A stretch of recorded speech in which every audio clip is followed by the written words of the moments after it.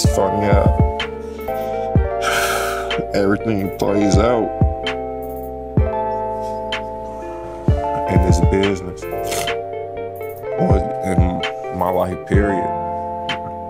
It always be twists and turns like this. I don't know how to feel right now. Like, I'm anxious, but shy. It's shy, man. Shit made me who I am, man.